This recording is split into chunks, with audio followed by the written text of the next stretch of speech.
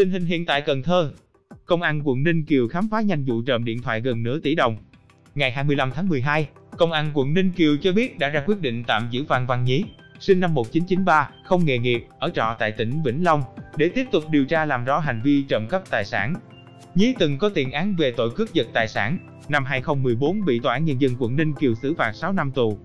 Khoảng 21 giờ ngày 17 tháng 12, anh Quy khóa cửa tiệm cầm đồ AQ trên đường Nguyễn Văn Linh, Phương Hưng Lợi rồi về nhà. Đến khoảng 8 giờ ngày 18 tháng 12, anh Quy đến tiệm mở cửa để kinh doanh thì phát hiện kẻ gian đã cậy phá nóc nhà, đột nhập vào lấy trộm 71 điện thoại di động các loại, trị giá khoảng 500 triệu đồng. Anh Quy đến công an trình báo sự việc. Sau khi tiếp nhận tin báo, nhận thấy đây là vụ án có tính chất đặc biệt nghiêm trọng, gây ảnh hưởng xấu đến tình hình an ninh trật tự. Công an quận Ninh Kiều đã báo cáo giám đốc công an thành phố Cần Thơ, duyệt cho xác lập chuyên án để tập trung đấu tranh làm rõ. Được sự chỉ đạo của Thiếu tướng Nguyễn Văn Thuận, giám đốc công an thành phố Cần Thơ, ban chuyên án đã tổ chức phân công, triển khai lực lượng điều tra viên, trinh sát có nhiều kinh nghiệm nhanh chóng khám nghiệm hiện trường, ghi lời khai người bị hại, người làm chứng. Ban chuyên án sàng lọc các đối tượng hình sự trên địa bàn, mở rộng khai thác thông tin. Qua khoanh vùng, trong các đối tượng nghi vấn nổi lên Phan Văn Nhí.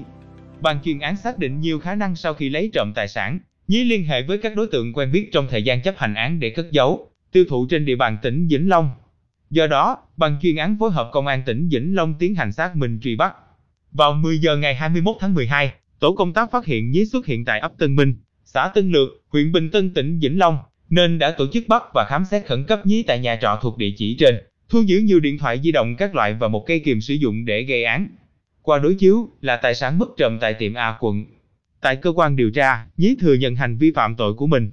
Do thiếu nợ và biết tiệm A quy ban đêm không người trông coi, khoảng 2 giờ ngày 18 tháng 12, Nhí đi bộ đến tiệm rồi leo lên mái nhà, dùng kềm cắt tôn, đột nhập trộm 71 điện thoại, sau đó về nhà trọ ở Vĩnh Long cất giấu.